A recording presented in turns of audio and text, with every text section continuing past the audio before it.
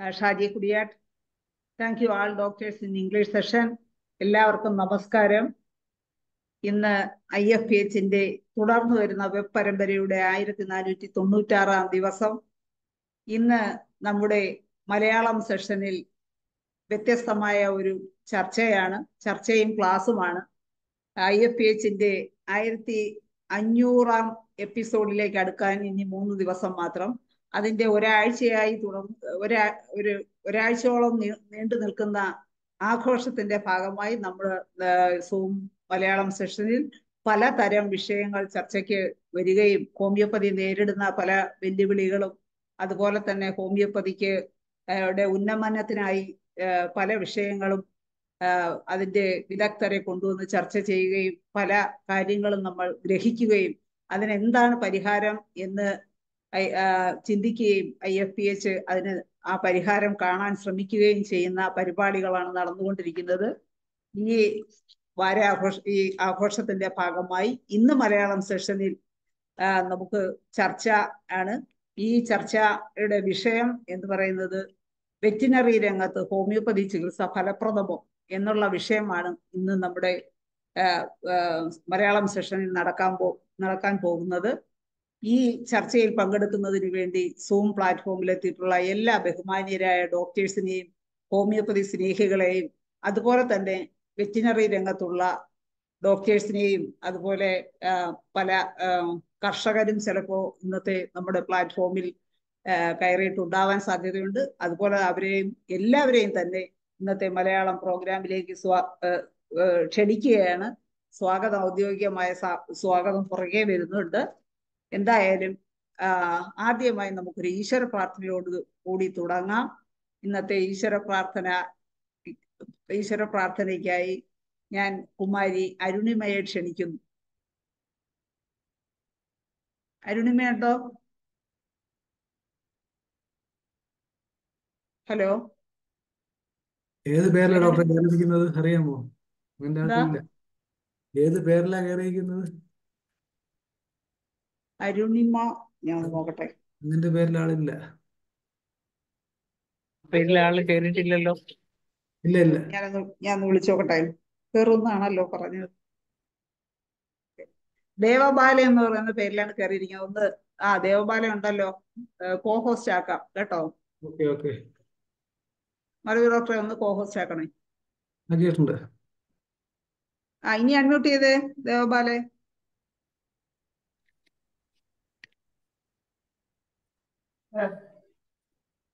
കാരുണ്യം കൈവിളക്കായുള്ള ജ്യോതിസേ നേരായ മാർഗം നീ കാട്ടേണമേ. ഇത്തിരി മുന്നോട്ടു പോകുവാനായി ഉൾത്തിരി ഉൾത്തിരിയൊന്നു കൊളുത്തേണമേ. സത്തായും ചിത്തായും സർവതന്മാവായും സത്യത്തിൻ തത്വമേ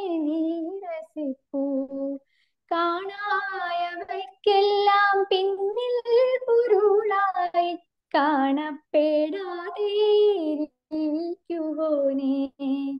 ഞാനൊരു മൺതരി മാത്രമാണെങ്കിലും ന്യൂനമാം അവിടുത്തെ സൃഷ്ടിയല്ലേ? കൈവിടാതെ നീ കാരുണ്യക്കാതലെ കൈവല്യദാതാവേ കൈ തൊഴുന്നേ കൈവല്യദാതാവേ കൈ തൊഴുന്നേ. നന്ദി കുമാരി ദേവബാല. അടുത്തതായി ഈ ഇന്നത്തെ പ്രോഗ്രാമിന്റെ ഔദ്യോഗികമായ സ്വാഗതം ആശംസിക്കുന്നതിന് വേണ്ടി ഡോക്ടർ ജി എസ് മനോജിനെ ക്ഷണിക്കും നന്ദി ശൈല ഡോക്ടറെ. നമ്മുടെ ഭഗവത്ഗീതയുടെ പത്താം അധ്യായം വിഭൂതി വിസ്തര യോഗത്തിനകത്ത് പറയുന്ന ചില കാര്യങ്ങൾ പ്രായോഗികമായി നമുക്ക് കാണാൻ കഴിയുന്നത് തീർച്ചയായിട്ടും ഹോമിയോപ്പതിയിലൂടെയാണ്. അഹമാത്മ ഗുഡാകേശ സർവഭൂതാശസ്ഥിത അഹമാദിശ മധ്യം ഭൂതാനാം അന്തയവജ ഞാൻ തന്നെയാണ് എല്ലാ പ്രാണികളിലും കുടികൊള്ളുന്നത്. അപ്പോൾ പ്രാണൻ ഒന്നാണ് ജീവൻ ഒന്നാണ് ജീവി ഒന്നാണ് എന്നുള്ള ഒരു ബോധ്യം പ്രായോഗികമായി നമുക്ക് കാണാൻ ദർശിക്കാൻ കഴിയുന്ന കാണാൻ ദർശിക്കാൻ കഴിയുന്ന ഒരു പക്ഷേ ഏകശാസ്ത്രം ഹോമിയോപ്പതി ആയിരിക്കാം. അതിനകത്ത് പറയുന്നുണ്ട് കു- കുതിരകൾ അശ്വത്വം ഞാനാകുന്നു. അതുപോലെ ആനകൾ ഐരാവതം ഞാനാകുന്നു. വൃക്ഷങ്ങളിൽ അശ്വത്വം ഞാനാകുന്നു. മത്സ്യങ്ങളിൽ മകാമത്സ്യം ഞാനാകുന്നു. ഈ വിഭൂതി വിസ്തരവും നേരിട്ട് കാണാൻ കഴിയുന്ന ഒരു സിസ്റ്റം ഹോമിയോപ്പതി തന്നെയാണ്. അപ്പോൾ അത് ചികിത്സിക്കാനുള്ള അവസരം കിട്ടിയവർ തീർച്ചയായിട്ടും ഭാഗ്യവാന്മാർ തന്നെയാണ്. എന്റെ ഔപചാരികമായ കർത്തവ്യം എന്നുള്ളത് സ്വാഗതം ആശംസിക്കുക എന്നുള്ളതാണ്. അപ്പോൾ നമ്മുടെ മുഖ്യ അതിഥികൾ എന്ന് പറയുന്നത് നമ്മുടെ ആദരണീയനായ മുസ്തഫ സാറാണ്. മുസ്തഫ സാറിനെ കുറിച്ച് കൂടുതൽ എന്താ പറയുക ഇൻട്രഡക്ഷൻ ആവശ്യമില്ല. എന്നിരുന്നാലും സീനിയർ വെറ്റിനറി സർജൻ മൃഗസംരക്ഷണ വകുപ്പ് Kerala doctor K T Mustafa. ഇനി ചർച്ചയിൽ പങ്കെടുക്കുന്നവർ doctor Anilkumar V A retired deputy director മൃഗസംരക്ഷണ വകുപ്പ് Kerala doctor T G Manoj Kumar medical officer homoeopathy വകുപ്പ് Kerala doctor K P G Nair patron and former president charitable society for holistic veterinary medicine C S H V M അതുപോലെ ഈ പരിപാടിക്ക് കൃതജ്ഞത അർപ്പിക്കുന്ന doctor Mariyama John doctor moderator doctor Shaila പ്രാർത്ഥന ആലപിച്ച കുമാരി അരുണിമ അതുപോലെ ഈ ചടങ്ങിൽ പങ്കെടുക്കുന്ന എല്ലാവരെയും ഒരിക്കൽ കൂടി ഹൃദയപൂർവം ഈ പരിപാടിയിലേക്ക് സ്വാഗതം ചെയ്യുന്നു.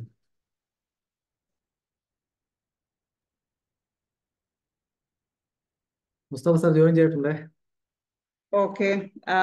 അടുത്തത് ഇന്നത്തെ സെഷനിൽ മുഖ്യ പ്രഭാഷണം നടത്തുവാനായി ഡോക്ടർ എന്താണ് മുസ്തഫ സാറിനെ ഞാൻ ക്ഷണിക്കുകയാണ്. മുസ്തഫ സാറ് സീനിയർ വെറ്റിനറി ആണ് മൃഗസംരക്ഷണ വകുപ്പിൽ സാറിനെ മുഖ്യ പ്രഭാഷണം നടത്തുന്നതിനായി ക്ഷണിക്കുന്നു. നമസ്കാരം. ഐ എഫ് പി എസിന്റെ ഈ വേദിയിലെത്തിയിട്ടുള്ള ഡോക്ടർമാർ ഹോമിയോപ്പതി സ്നേഹികൾ അതുപോലെ കർഷക സുഹൃത്തുക്കൾ എല്ലാവർക്കും സ്വാഗതം. നമ്മുടെ ചരിത്രത്തിന്റെ ഭാഗമായിട്ട് ആയിരത്തി അഞ്ഞൂറ് ദിവസങ്ങളിലേക്ക് അടുക്കുകയാണ് ഇങ്ങനെ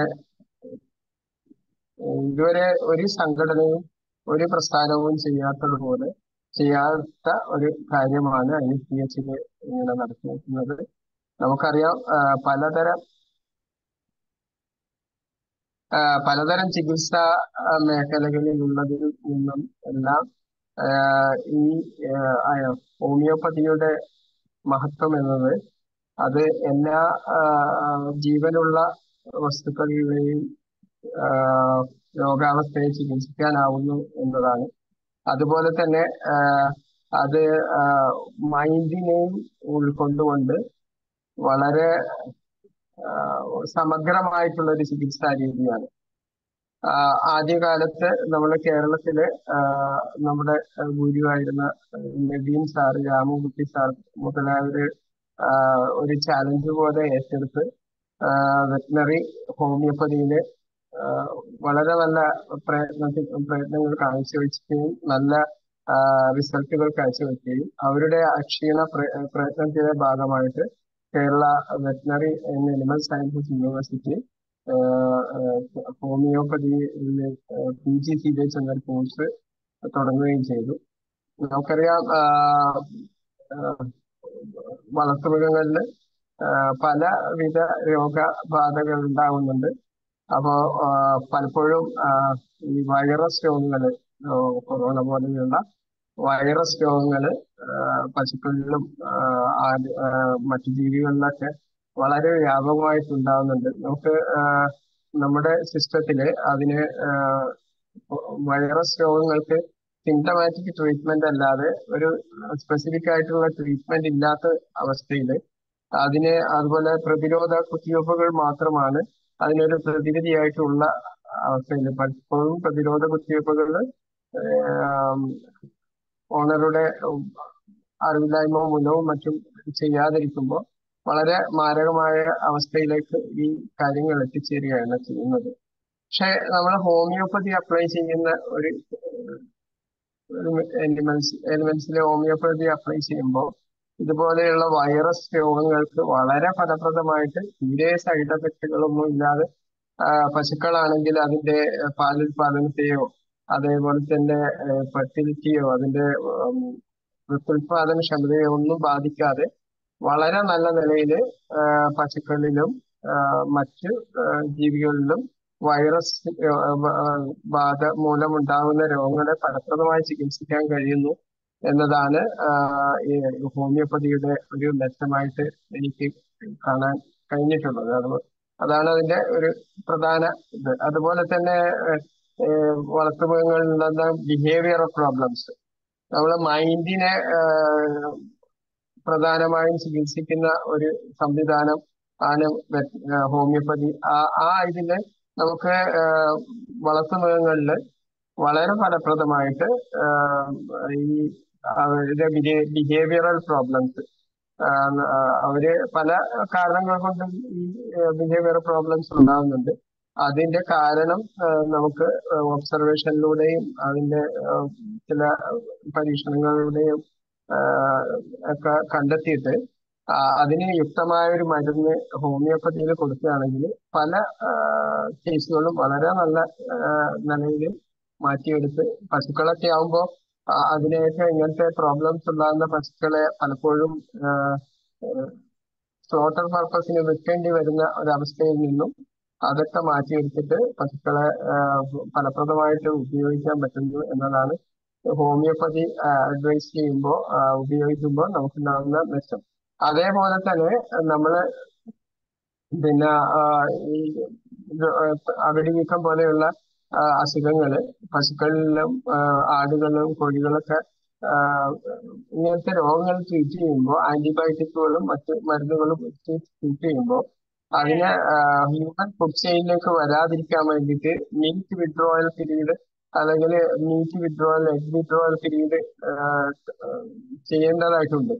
പക്ഷെ അങ്ങനെ ഉണ്ടാകുമ്പോൾ കർഷകർക്ക് ഉണ്ടാകുന്ന നഷ്ടം വളരെ വലിയ ഒരു നഷ്ടമാണ്. അത്രയും ദിവസം പാൽ ഉപയോഗിക്കാതിരിക്കുക എന്നത്. അത് ഫലപ്രദമായി നടപ്പിലാക്കാതിരിക്കുന്ന സമയത്ത് ഈ ഫുഡ് ഫുഡിൽ അതായത് പാലിൽ മീറ്റിൽ ഈ ആന്റിബയോട്ടിക്കിന്റെയും മറ്റു മരുന്നുകളെയും റെസിഡ്യൂസ് വരികയും അത് ഹ്യൂമൻ ഹെൽത്തിനെ ബാധിക്കുകയും ചെയ്യുന്നുണ്ട്. ആ ഒരു സംഭവം നമ്മളെ ഹോമിയോപ്പതി ഉപയോഗിക്കുന്ന നേരം ഇല്ലാതിരിക്കുകയാണ്. അതായത് എപ്പോഴാണോ ആ പാൽ റെഡിയാവുന്നത്. ചിലപ്പോൾ വലിയ അതിദിവസങ്ങൾ പോലും ഒന്നോ രണ്ടോ ദിവസം കൊണ്ട് തന്നെ മാറുന്നുണ്ട്. അപ്പൊ ആ രണ്ടാമത്തെ ദിവസം അല്ലെങ്കിൽ ഒന്നാമത്തെ ദിവസം തന്നെ മാറിയ എത്രയോ കേസുകളുണ്ട്. അപ്പൊ അവരെ അവർക്ക് ആ മരുന്ന് അല്ല ആ പാൽ ഗുണഭോക്ത അതിന്റെ ഉപഭോക്താക്കൾക്ക് വളരെ നല്ല പ്യൂരിറ്റിയോട് കൂടി തന്നെ കൊടുക്കാൻ പറ്റുകയും അതിലൂടെ ഈ ജനറൽ പബ്ലിക്കിന്റെ ഹെൽത്തിന് നമുക്ക് ഗാർഡ് ചെയ്യാൻ പറ്റുകയും ചെയ്യുന്നുണ്ട് നമ്മളെ ഹോമിയോപ്പതി ചികിത്സയിലൂടെ അതേപോലെ തന്നെ ഇത് നമുക്ക് ഇത് അപ്ലൈ ചെയ്യാനുള്ള സുഖം. അത് നമുക്ക് അതിനെ വേദനിപ്പിക്കാതെ അതിനെ വളരെ ഏത് വീഷ്യസ് ആയിട്ടുള്ള അനിമൽസിനെയും നമുക്കിത് സ്പ്രേ ചെയ്തിട്ടും അങ്ങനെ എല്ലാം കൊടുക്കാൻ പറ്റുന്നത് കൊണ്ട് തന്നെ നമുക്ക് ഏത് തരം വൈൽഡ് അനിമൽസ് ആയാലും ഡൊമസ്റ്റിക്കേറ്റഡ് അനിമൽസ് ആയാലും അത് ഏത് ടൈപ്പിലുള്ള അനിമൽസ് ആയാലും നമുക്ക് മരുന്ന് ഫലപ്രദമായിട്ട് അപ്ലൈ ചെയ്യാൻ പറ്റുന്നുണ്ട്. അതിലൂടെ ഒരു ടെക്നീഷ്യൻ ഇല്ലാതെ തന്നെ അവിടെ ഉള്ള ആൾക്കാർക്ക് അത് നേരിട്ട് കൊടുക്കാൻ പറ്റും. അത് വേറൊരു അഡ്വാന്റേജ് ആണ്. പിന്നെ കോസ്റ്റ് എഫക്റ്റീവ്നെസ് ഇതിന്റെ ഒരു വലിയൊരു അഡ്വാന്റേജ് ആണ്. നമുക്കൊരു വലിയ കമ്പാരിറ്റീവ്ലി കുറഞ്ഞ തുക കൊണ്ട് നമുക്ക് വലിയ മേജർ ഡിസീസസ് ഒക്കെ മാറ്റാൻ പറ്റും. ഇന്ന് ചില ടെക്നിക്കൽ റീസൺസ് കൊണ്ട് ഞാൻ പ്രസന്റേഷൻ എടുത്തിട്ടില്ല ലാപ്ടോപ്പ് കയ്യിലില്ല. അതുകൊണ്ട് ഇത്രയൊക്കെയാണ് ഹോമിയോപ്പതിയുടെ അഡ്വാന്റേജ് ആയിട്ട് അത് അത് അതുപോലെ തന്നെ ഹോമിയോപ്പതിയിലെ വിമർശകർ ഉന്നയിക്കുന്ന പ്രധാന ഒരു കാര്യം നേരത്തെ ഏത് കാലത്തും പറഞ്ഞുകൊണ്ടിരിക്കുന്നതാണ് ഇത് പ്ലാസിബോ ആണെന്ന്. ആ പ്ലാസിബോ അല്ല അത് something is there in the this potatoes മെഡിസിൻസിലോ ഉണ്ട് എന്നുള്ളത് വെറ്റിനറി പേഷ്യൻസിലുള്ള അതും ഡിസ്റ്റന്റ് ആയിട്ടുള്ള. നമുക്ക് ആ പേഷ്യന്റിനെ അറിയില്ലല്ലോ നമ്മൾ ഡോക്ടറാണോ ഉണ്ടോ ആ, അങ്ങനെ അതും ദൂര സ്ഥലങ്ങളിലേക്കൊക്കെ നമ്മൾ ഇത് അയച്ചു വിട്ടിട്ട് വളരെ നല്ല റിസൾട്ട് കിട്ടുമ്പോൾ ഈ മരുന്നിന് വളരെ നല്ല നമുക്ക് ഇനിയും അതിന്റെ മെക്കാനിസം ഓഫ് ആക്ഷൻ കണ്ടെത്താൻ പറ്റിയിട്ടില്ലെങ്കിലും അത് വളരെ നല്ല റിസൾട്ട് ഉണ്ടാക്കുന്നുണ്ട് എന്നുള്ളത് ഇതിന്റെ ക്രിറ്റിസൈസസിന് ഉള്ള ഒരു ബ്ലോ ആണ്. അത് അതിന്റെ ഒരു കോൺക്രീറ്റ് എവിഡൻസ് ആണ്. ഇതിന് ആക്ഷൻ ഉണ്ട് എന്നുള്ളത്. ഇത്രയൊക്കെയാണ് എനിക്ക് ആമുഖമായിട്ട് പറയാനുള്ളത്. ഇനി ഇതിന്റെ അനുഭവസ്ഥരായിട്ടുള്ള കർഷകർ ഉണ്ടാവുമെന്ന് പറഞ്ഞിട്ടുണ്ട്. അവർ ആരെങ്കിലും ഉണ്ടെങ്കിൽ സംസാരിക്കാം. എന്തെങ്കിലും ചോദ്യങ്ങൾ ഉണ്ടെങ്കിൽ ചോദിക്കാം. അതിനനുസരിച്ച് എനിക്ക് പറയാനുള്ളത് പറയാം. പ്രസക്ഷൻ കൊണ്ടുവന്നിട്ടില്ല. പുസ്തക മുസ്തഫ ഡോക്ടറെ ആദ്യം ഒരു സംശയം എനിക്ക് തന്നെയാണ് ഉള്ളത്. കാരണമെന്ന് വെച്ചാൽ ഈ പ്രധാനമായിട്ട് ഏതൊക്കെ അസുഖങ്ങൾക്കാണ് പിന്നെ നല്ല ഒരു എഫക്റ്റീവ്നെസ് തോന്നിയിട്ടുള്ളത് ഡോക്ടർക്ക്. ഏത് പ്രധാനമായിട്ടും ഏതൊക്കെ അസുഖങ്ങൾക്കാണ് അതൊന്ന് ഒന്നുകൂടെ ഒന്ന് വ്യക്തമാക്കിയേക്കുള്ളൂ. കോസേറ്റീവ് ഫാക്ടർ വെച്ചിട്ട് ഏത് തരം കേസും നമുക്ക് ഹോമിയോ കൊണ്ട് ഡീൽ ചെയ്യാം എന്നുള്ളതാണ് എനിക്ക് ഇത്രയും കാലത്തിനുള്ള മനസ്സിലായിട്ടുള്ളത്. എന്നാൽ പോലും ഈ ഇത്തരം വൈറസ് ഡിസീസസുകൾ കുളമ്പ് രോഗം പിന്നെ തൂക്കൽ കോഴികളിലുണ്ടാകുന്ന തൂക്കൽ ഡോഗിനുണ്ടാകുന്ന കനൈൻ സ്റ്റമ്പർ ഇങ്ങനെ പല ഫാൻ ലുക്കോപ്പീനിയ എന്ന് പറഞ്ഞിട്ട് കാറ്റുകൾ ഒന്നിച്ച് കാറ്റുകൾ പൂച്ചകൾ ചത്തുപോകുന്ന ഒരു വൈറസ് ഡിസീസ് ഉണ്ട്. അതുപോലെ ഇ പി ആർ എന്ന് പറഞ്ഞിട്ട് മറ്റേ ആടുകൾക്കും ചെമ്മരിയാടുകൾക്കും ഉണ്ടാകുന്ന ഇത്തരം കേസുകൾ ഓൺ ദ ഫസ്റ്റ് ഡേ തന്നെ നമുക്ക് കിട്ടുകയാണെങ്കിൽ ഒരു വൺ ടു ടു ഡേയ്സ് കൊണ്ട് അതിനെല്ലാം ഒറ്റ ഒരു ഡെത്തും ഇല്ലാതെ നോർമൽ നോർമൽസിയിലേക്ക് കൊണ്ടുവരാൻ പറ്റുന്നുണ്ട്. അതേസമയം ഫ്രീ ആയിട്ട് വിട്ടു കഴിഞ്ഞാൽ ഒരു entire population within within days wipe out ചെയ്യുന്ന പല കണ്ടീഷനും ഞങ്ങൾ മുമ്പ് ഹോമിയോ ഇല്ലാത്ത അറിയാതിരുന്ന കാലത്ത് നമുക്കിങ്ങനെ ഫാമിലെത്തുമ്പോഴത്തേക്കിങ്ങനെ പത്തും പന്ത്രണ്ടും ആടുകളൊക്കെ ഒരാടിന് സുഖമില്ല എന്ന് പറഞ്ഞിട്ട് ആ ഫാമിലെത്തുമ്പോഴത്തേക്ക് പന്ത്രണ്ട് പതിനഞ്ച് ആടുകളെല്ലാം ഒന്നിച്ച് ചത്തുപോയ പി സി ആർ എന്ന് പറഞ്ഞിട്ട് ഒരു ആയിട്ടുള്ള വളരെ മാരകമായിട്ടുള്ള ഒരു വൈറസ് രോഗമുണ്ട് ഇങ്ങനെയുള്ള അതേപോലെ തന്നെ കോഴികളിലും ഒക്കെ തന്നെ ഡോഗുകളിലും ഡോഗിന്റെയും കാറ്റിന്റെ ഒക്കെ പോപ്പുലേഷൻ കൺട്രോൾ ചെയ്യാൻ ദൈവം തന്നെ ഇറക്കിയിട്ടുള്ള ഒരു രോഗമായിട്ടാണ് നമുക്ക് ഈ കനവിൻ ഡിസംബറും ഇങ്ങനെയുള്ള സാധനങ്ങളൊക്കെ ഈ വൈറസ് ഡോസ് രോഗങ്ങളൊക്കെ അതൊക്കെ തന്നെ ഫലപ്രദമായിട്ട് ചികിത്സിക്കാൻ പറ്റുന്നുണ്ട്. അതുപോലെ തന്നെ വൈറസ് അല്ലാതെ ബാക്ടീരിയൽ ഇൻഫെക്ഷൻസ് ആയിട്ടുള്ള അഗ്നിവീക്കം പോലെയുള്ള അഗ്നിവീക്കം പലതരം രോഗാണുബാധ മൂലം ഉണ്ടാകുന്നുണ്ടെങ്കിൽ മെയിൻലി അത് ബാക്ടീരിയ ആണ്. ആ അതും നമുക്ക് തുടക്കത്തിൽ തന്നെ കിട്ടുകയാണെങ്കിൽ on the first day itself കിട്ടുകയാണെങ്കിൽ one day or two days കൊണ്ട് അതിന്റെ പ്രൊഡക്ഷൻ ഒന്നും കുറയാതെ തന്നെ ചികിത്സിക്കാൻ പറ്റുന്നുണ്ട്. കാരണം ഇതിനെ കുറിച്ച് നല്ല ആ പാത്തോളജിനെ കുറിച്ചൊക്കെ കൃത്യമായിട്ട് നമ്മൾ അറിഞ്ഞിരിക്കണം നമ്മൾ ഒബ്സർവ് ചെയ്തിരിക്കണം. അങ്ങനെയാണെങ്കിൽ മാത്രമാണ് ഇതിനൊരു റിസൾട്ട് കിട്ടുള്ളൂ. അതേപോലെ തന്നെ ഹോമിയോപ്പതിയുടെ ബ്യൂട്ടി ആൻഡ് ദി ലിമിറ്റേഷൻ എന്ന് പറയുന്ന ഇൻഡ്യൂരിയലൈസേഷൻ ആണ്. നമുക്ക് ഒരിക്കലും ഒരു ജനറലൈസ്ഡ് മെഡിസിൻ ഒന്നും പറയാൻ പറ്റില്ല ഓരോ എനിമലിലും കാണുന്ന അതായത് ഫ്ലോക്ക് ഓഫ് എനിമൽസിൽ കാണുന്ന സിംറ്റംസിനെ വെച്ചിട്ട് വേണം നമുക്കൊരു ഇതെടുക്കാൻ അതിന് നല്ല നോളജിന്റെ വെറ്റിനറി സബ്ജക്ട്സിന് വേണം. നല്ല നോളജിന്റെ മെറ്റീരിയൽ പഠിക്കാൻ വേണം. അതും അനുഭവം വേണം. കുറെ കാലത്തെ ഒബ്സർവേഷൻ വേണം. അങ്ങനെയാണ് നമുക്കൊരു നമുക്ക് ധൈര്യപൂർവം ഈ മരുന്ന് കൊടുത്തിട്ട് ഇത് മാറുമെന്ന് ഉറപ്പിച്ച് പറയാൻ പറ്റുന്നുണ്ടെങ്കിൽ അത് അത്രയധികം എഫേർട്ട് എടുക്കണം. മൈൻഡ് കൊണ്ട് അതിനെ നമ്മൾ ഉൾക്കൊള്ളണം.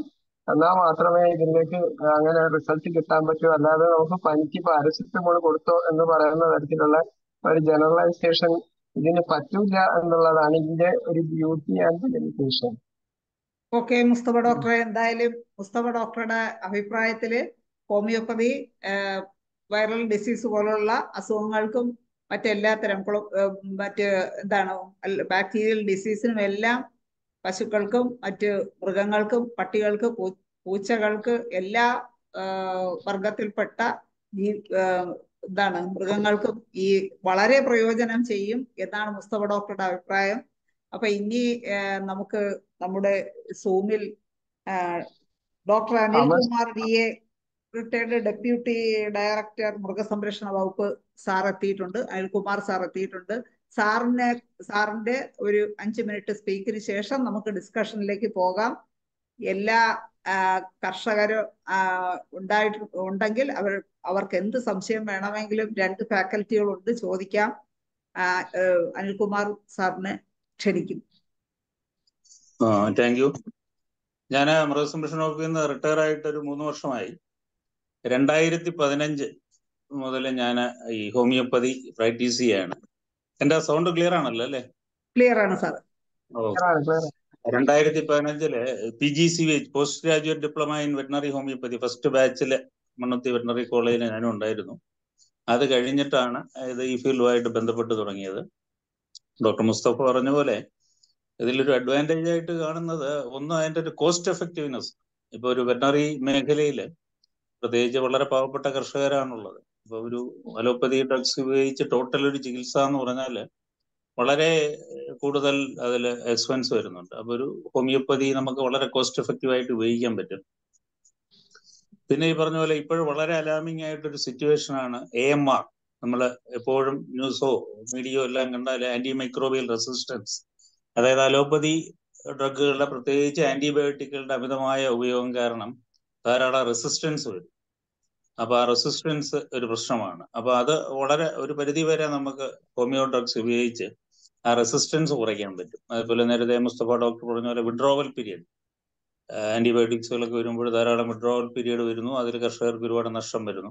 അപ്പൊ ആ കേസുകളിലൊക്കെ നമുക്ക് വളരെ എഫക്റ്റീവായിട്ട് ഹോമിയോ ഡ്രഗ്സ് ഉപയോഗിക്കാൻ പറ്റും. പിന്നെ ഇതിലൊരു ബുദ്ധിമുട്ടെന്ന് പറയുന്നത് നമ്മളുടെ ഒരു ഹ്യൂമൻ ഹ്യൂമിയോ ട്രീറ്റ്മെന്റുമായിട്ടൊരു പ്രശ്നം വരുന്നത് ഈ ആനിമൽസ് എലിഫന്റ് തൊട്ട് നമ്മുടെ കോഴി വരെ ഉള്ള ഒരുപാട് അനിമൽസും ബേർഡ്സും ഉണ്ട്. അപ്പൊ അനാട്ടമിക്കലായിട്ട് ഒരുപാട് വ്യത്യാസമാണ് അപ്പൊ ഇതിന്റെ ഡ്രഗ് ചൂസ് ചെയ്യുമ്പോഴൊക്കെ ധാരാളം ഡിഫിക്കൽറ്റി അതുകൊണ്ട് വരും. അതുപോലെ തന്നെ അനിമൽ ബിഹേവിയർ. ഒരു ഹ്യൂമൻ കേസ് പോലെയല്ല. അനിമൽ ബിഹേവിയർ ബേസിക്കലി അവരുടെ അനാട്ടമിക്കൽ ക്യാരക്ടേഴ്സ് കൊണ്ട് തന്നെ ടോട്ടലി ഡിഫറെന്റ് ആണ് അതുകൊണ്ട് തന്നെ അവർ എക്സിബിറ്റ് ചെയ്യുന്ന സിംറ്റംസും അവരുടെ ബിഹേവിയറും ഒക്കെ ടോട്ടലി ഡിഫറെന്റ് ആയിരിക്കും. അതേപോലെ ഡ്രഗ് ടോക്സിക്കോളജി വളരെ പ്രശ്നമാണ്. അനിമൽസിൽ പല സ്പീഷീസിനും പല ഡ്രഗുകളും നമുക്ക് ഉപയോഗിച്ചുകൂടാ. അങ്ങനെ ഒരു ടോക്സിക്കോളജിക്ക് പ്രശ്നമുണ്ട്. അപ്പം കുറച്ച് കുറച്ചുകൂടെ കോംപ്ലിക്കേറ്റഡ് ആണ് വെറ്റിനറി ഹോമിയോപ്പതി നമ്മളെ ഹ്യൂമൻ ട്രീറ്റ്മെന്റുമായിട്ട് വെച്ച് നോക്കുമ്പോൾ അപ്പോൾ ഈ ഒരു കാര്യങ്ങളൊക്കെ നമുക്ക് ഒരുപാട് ശ്രദ്ധിക്കേണ്ടി വരും. പിന്നെ നമുക്കൊരു പ്രശ്നമായിട്ട് വരുന്നത് ഈ ലാർജ് സ്കെയിൽ ക്ലിനിക്കൽ ട്രയൽസ് ഇതിലധികം നടന്നിട്ടില്ല നമുക്ക് ഓരോ നമ്മൾ സിംറ്റംസും ബാക്കി കാര്യങ്ങളൊക്കെ എടുക്കുകയാണെങ്കിൽ ഒരു സ്റ്റാൻഡർഡൈസേഷൻ എന്നുള്ള രീതിയിൽ ഓരോ അസുഖങ്ങളെ പ്രത്യേകിച്ച് ചികിത്സിക്കും ഇപ്പൊ ഫുഡ് ആൻഡ് മൗത്ത് ആയാലും മാസ്റ്റൈറ്റിസ് ആയാലും അല്ലെങ്കിൽ ലംബി സ്കിൻ ഓരോ സ്പെസിഫിക് ഡിസീസസ് വൈറസ് വരുമ്പോഴത്തേക്ക് അതിൽ നമുക്ക് കുറെ മരുന്നുകൾ സ്റ്റാൻഡർഡൈസ് ചെയ്യണമെങ്കിൽ ലാർജ് സ്കെയിൽ ക്ലിനിക്കൽ ട്രയൽസ് അനിമൽസിൽ നടക്കും. അപ്പൊ അതിനെക്കുറിച്ച് ഒരു റിസർച്ച് ആംഗിളിലൊക്കെ ഇതിൽ നടന്നാലേ പറ്റുള്ളൂ. അതിനെനിക്ക് തോന്നുന്നു വെറ്ററിനറി കോളേജുകൾ പോലെയുള്ള സ്ഥാപനങ്ങൾക്കായിരിക്കും അതൊക്കെ ചെയ്യാൻ പറ്റുന്നത്. എന്തായാലും ഒരു നല്ല ന്യൂസ് ഉള്ളത് ധാരാളം ക്ലിനിക്കൽ ട്രയൽസ് ഇപ്പം തുടങ്ങിയിട്ടുണ്ട്. ഒരുപാട് റിസർച്ച് പേപ്പേഴ്സിൽ വരുന്നുണ്ട്. അപ്പം ഇതിന്റെ എഫിക്കസിയെ കുറിച്ചും ഇതിന്റെ സ്റ്റാൻഡർഡൈസേഷനെ കുറിച്ചും ഒക്കെ നമുക്ക് ഒരുപാട് നോളജ് കിട്ടും. അതിൽ രണ്ട് കാര്യങ്ങളാണ്. ഒന്ന് അതിന്റെ എഫക്റ്റീവ്നെസ് നൂറ് ശതമാനം പ്രൂവ് ചെയ്യുന്നു. രണ്ട് ഒരു സ്റ്റാൻഡേർഡ് പ്രോട്ടോകോൾ ഇതിൽ വരുന്നു അപ്പൊ അതിന്റെ ഡയഗ്നോസിസ് ഒക്കെ നമ്മൾ ലാബ് ടെക്നിക്സ് ഉപയോഗിച്ചിട്ട് ഓരോ ഡിസീസ് ഡയഗ്നോസ് ചെയ്യും സ്കാനിങ്ങോ അതുപോലത്തെ കാര്യങ്ങളെല്ലാം. Trials with homoeo drugs with standard പ്രോട്ടോകോളിൽ ചെയ്തു കഴിഞ്ഞാൽ കുറേയൊക്കെ സ്റ്റാൻഡർഡൈസ് ചെയ്യും. അങ്ങനെ ഒരുപാട് കാര്യങ്ങൾ ഇനി മുമ്പോട്ട് പോകാനുണ്ട്. പിന്നെ വളരെ കൂടുതലായിട്ട് ഇപ്പോൾ വെറ്റിനറി ഹോമിയോപ്പതി ഉപയോഗിക്കുന്നത് കമേഴ്ഷ്യൽ പ്രൊഡക്ഷൻ ബ്രോയിലർ പ്രൊഡക്ഷനിൽ വെയിറ്റ് ഗെയിൻ ഒക്കെ ഉണ്ടാക്കാനായിട്ട് ആൽഫ ആൽഫ പോലെയുള്ള ഡ്രഗുകൾ അതിന്റെയൊക്കെ ക്ലിനിക്കൽ ട്രയൽസ് നടന്നുകൊണ്ടിരിക്കുകയാണ്. അത് കർഷകർക്ക് വളരെ അനുഗ്രഹമായിരിക്കും. വെയിറ്റ് ഗെയിൻ അതൊക്കെ നമ്മൾ ഹ്യൂമൻ കേസിൽ അത്ര ഒരു കമേഴ്ഷ്യൽ ആംഗിൾ വരുന്നില്ല. അപ്പൊ ഇതിൽ ഒരു കമേഴ്ഷ്യലായിട്ട് ധാരാളം കാര്യങ്ങൾ ചെയ്യാൻ പറ്റും. അതുപോലെ ഇപ്പം വളരെ വളരെ ഇമ്പോർട്ടൻസ് വരുന്ന ഒരു മേഖലയാണ് കേൾക്കാമല്ലോ അല്ലേ? കേൾക്കാം sir. Organic farm organic farming എന്ന് വെച്ചാൽ കെമിക്കൽസും ബാക്കി കാര്യങ്ങളും ഒന്നും ഉപയോഗിക്കാതെയുള്ള കൃഷി കൃഷിയോടനുബന്ധിച്ച് തന്നെ animal husbandry activities organic farming ഉള്ള ഒരു അഗ്രികൾച്ചർ ആണെങ്കിൽ അവിടെ വളർത്തുന്ന അനിമൽസും ഓർഗാനിക് അനിമൽ ഹസ്ബൻഡറി അപ്പോൾ ഓർഗാനിക് അനിമൽ ഹസ്ബൻഡറി ആയിട്ട് അനിമൽസിനെ വളർത്തണമെങ്കിൽ നമുക്ക് കെമിക്കൽസും ആന്റിബയോട്ടിക്സും ഒക്കെ ഒഴിവാക്കേണ്ടി വരും. അപ്പൊ അവിടെയും നമുക്ക് ഉപയോഗിക്കാൻ പറ്റുന്നത് ഹോമിയോപ്പതി ഡ്രഗ്സ് ആണ്. അപ്പൊ ഇതിന് ധാരാളം സ്കോപ്പ് വെറ്ററിനറി മേഖലയിലുണ്ട്. ഒരു ധാരാളം വരുന്ന ഇപ്പൊ നമ്മൾ കൂടുതലും ചെയ്യുന്നത് ഒരു പക്കാ ഹോമിയോപ്പതി ട്രീറ്റ്മെന്റ് ആണോ എന്ന് ചോദിച്ചാൽ പലപ്പോഴും ആയിരിക്കില്ല. അലോപ്പതിയുമായിട്ടൊക്കെ ചേർന്ന് അല്ലെങ്കിൽ കമ്പൈൻ ചെയ്തുകൊണ്ടുള്ള ചികിത്സകളാണ്. അതിന്റെ ഒരു എക്സ്പീരിയൻസ് കൂടുന്നതനുസരിച്ച് ആളുകൾ സ്റ്റാൻഡ് അലോൺ മോഡിലോട്ട് ഹോമിയോപ്പതി മാത്രം ചെയ്യുന്നുണ്ട്. എന്ത് തന്നെയാണെങ്കിലും ഇത് കർഷകർക്ക് വളരെ ഗുണമാണ്. ഇറ്റ് ഈസ് വളരെ ഇത് വളരെ എഫക്റ്റീവുമാണ് ഇത്രയുമാണ് പറയാനുള്ളത്. Thank you okay Anilkumar sir അപ്പോ സാറിന്റെ അഭിപ്രായത്തിലും വളരെ എഫക്റ്റീവും ഗുണവും ആണ് ഹോമിയോപ്പതി എന്നാണ് സാറിന്റെയും ഒരു എക്സ്പീരിയൻസിൽ വന്നിട്ടുള്ളത്. എന്തായാലും വളരെ സന്തോഷം. ഇനി ഒരു കാര്യം പറയാനുള്ളത് നമുക്ക് ടി ജി മനോജ് ഡോക്ടർ എത്തിയിട്ടുണ്ട്. പക്ഷെ കർഷകർ ആരെങ്കിലും ഉണ്ടെങ്കിൽ അവർക്ക് എന്തെങ്കിലും സംശയങ്ങൾ ചോദിക്കാനുണ്ടെങ്കിൽ ഒരു ഇടയ്ക്ക് ഒരു ഡിസ്കഷൻ കഴിഞ്ഞിട്ട് മനോജ് ഡോക്ടറിലേക്ക് വരാം. അതാണ് നല്ലതെന്ന് തോന്നുന്നു. ആരെങ്കിലും കർഷകർ മുസ്തഫ ഡോക്ടറെ കർഷകർ ആരെങ്കിലും എത്തിയിട്ടുണ്ടോ സാറിന്റെ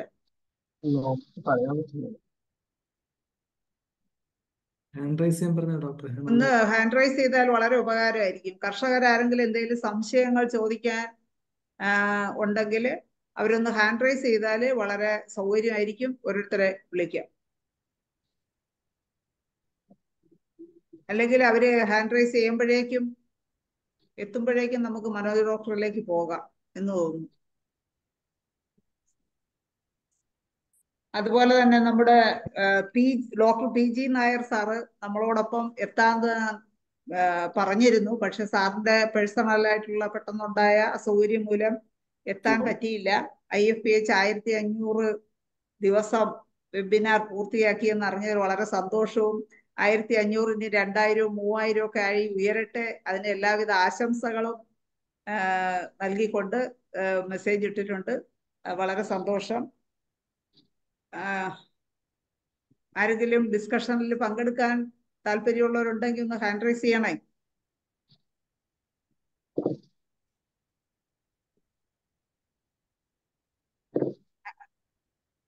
അല്ലെങ്കിൽ ഹലോ. ഹലോ ഞാൻ ഡോക്ടർ മനോജാണ് കണ്ണൂരിൽ നിന്ന്. ആ സാറേ സംസാരിച്ചോളൂ. ആ സാറേ ഇപ്പോ പിന്നെ പശുക്കളുടെ ഒക്കെ മേത്ത് ടിക്സ് ഞങ്ങളുടെ നാൾ കാടിനടുത്തുള്ള സ്ഥലങ്ങളാണ്. അപ്പൊ സാധാരണ ഈ പുല്ലുണ്ണികൾ എന്നൊക്കെ പറയുന്ന രീതിയിൽ വട്ടുണ്ണികൾ എന്നൊക്കെ പറയുന്ന രീതിയിൽ മാൻചെള്ളുകളൊക്കെ ധാരാളം വരാറുണ്ട്. അതുകൊണ്ടുള്ള കുറെ രോഗങ്ങളുണ്ടെന്ന് അറിയാമല്ലോ. അപ്പൊ അതിന് സാധാരണ ഈ ഹോമിയോപ്പതിക് എക്സ്റ്റേണൽ ആപ്ലിക്കേഷൻസ് ഒന്നും നമുക്ക് ഇവിടുന്ന് കിട്ടുന്ന സാധാരണ രീതിയിലുള്ള എക്സ്റ്റേണൽ ആപ്ലിക്കേഷൻസ് നമുക്ക് പശുവിനൊന്നും ഉപയോഗിക്കാൻ പറ്റില്ല. കാരണം ചെറിയ ട്യൂബായിട്ടൊക്കെയാണ് ഓയിൽമെന്റ്സ് ഒക്കെ വരിക. അപ്പൊ അങ്ങനെയുള്ള കണ്ടീഷനകത്ത് ഇതിനെ എക്സ്പെൽ ചെയ്യാൻ വേണ്ടിയിട്ട് നമുക്ക് ഇന്റേണൽ മെഡിസിൻസ് സാധ്യത വല്ലതുമുണ്ടോ അത് എക്സ്റ്റേണൽ ആപ്ലിക്കേഷൻ ആണെങ്കിൽ ഏതെങ്കിലും ഹോമിയോപ്പതിക് മെഡിസിൻ സഹായിക്കുമെന്ന് സാറിന് തോന്നിയിട്ടുണ്ടോ